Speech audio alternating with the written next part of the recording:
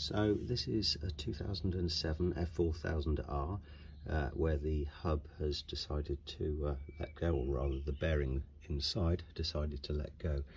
As you can see, it's caused a massive amount of damage to the hub.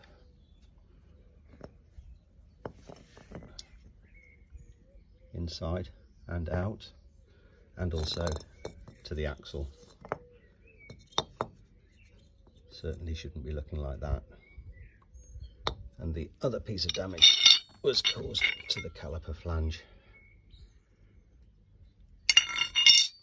None of which can be reused. So I'm going to replace it all with a 2010 uh, hub and axle and I'll show you how it's assembled. Fortunately there was no damage to the swinging arm so what I've done is I've given it a good wash down uh, to get rid of all the swarf that was inside, clean, and I'm just going to give it a quick dry with my uh, dryer. Just to make sure that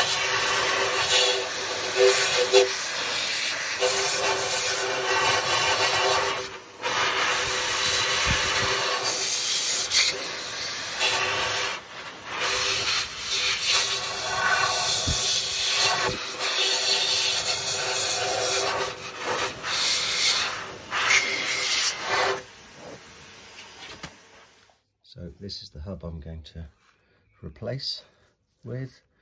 Uh, it's from a 2010. I think it might actually be 2012.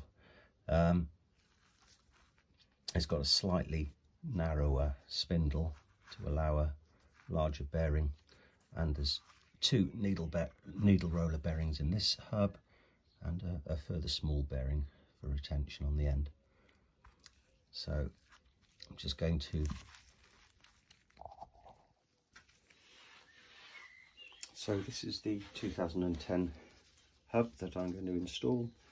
I've had all the spacers out, flushed and greased uh, using uh, lithium high performance bearing grease uh, as per the spec.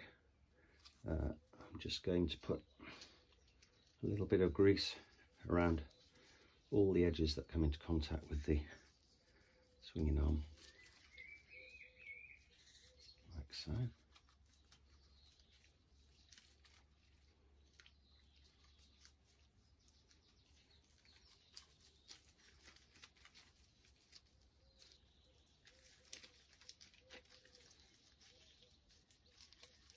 It's also important to make sure you put it on the edge where the caliper flange goes as well. So I've got nice good contact there. I'm just going to do a little bit of a, a smooth round here as well.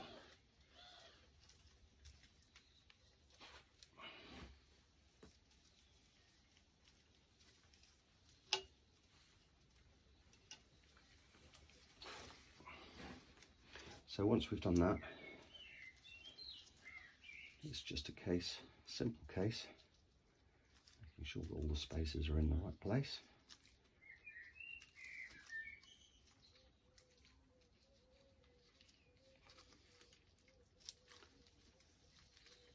Simple case, it says, of popping the hub in. There we go. Fitting nicely. I'll remove my screwdriver and plastic tabs that I inserted. And there we go, the hub is in.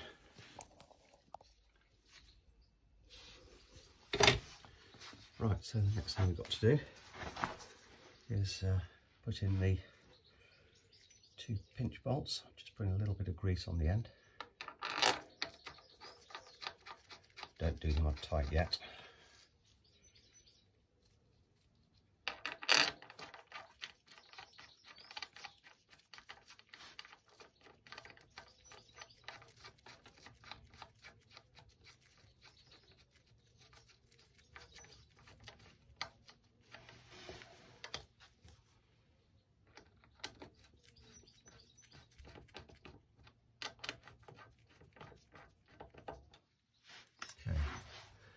Bracket which I've lightly greased.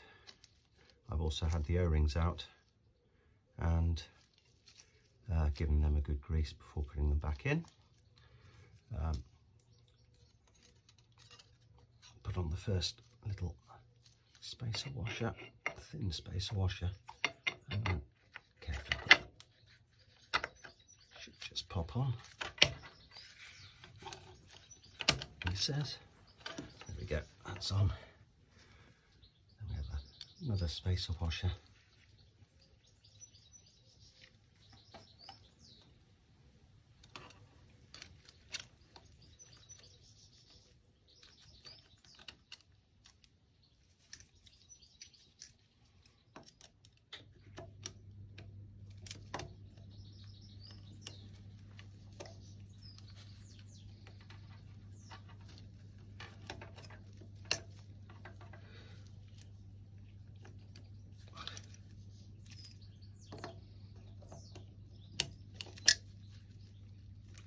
need to make sure it's into the recess all the way around.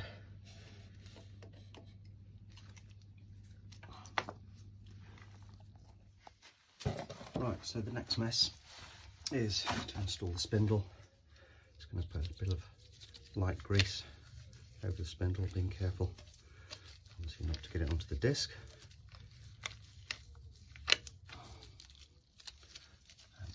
Slot it in here.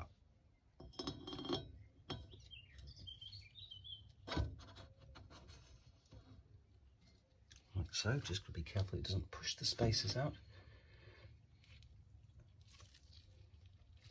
There we go. Job done. Okay, so the next thing we've got to do is put the sprocket on.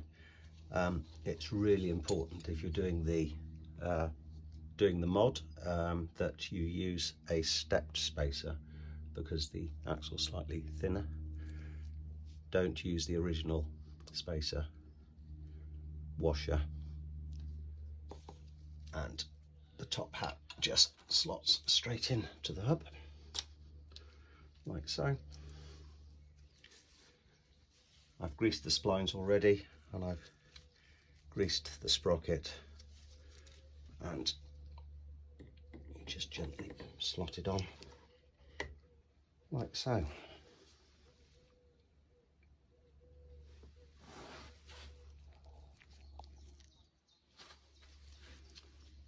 Then we add the thin washer and the nut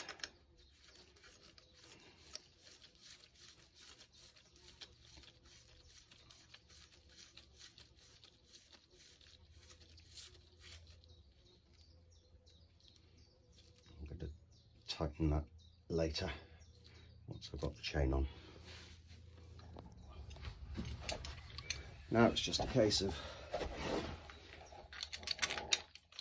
putting the chain back on, which is much, much the way, the same way as when you're adjusting the chain.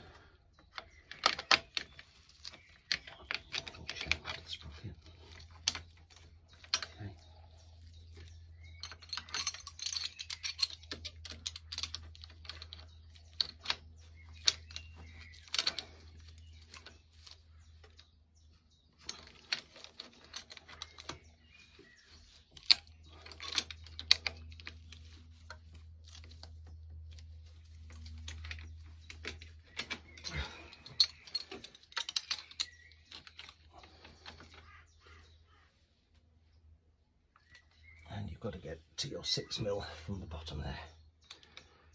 Okay.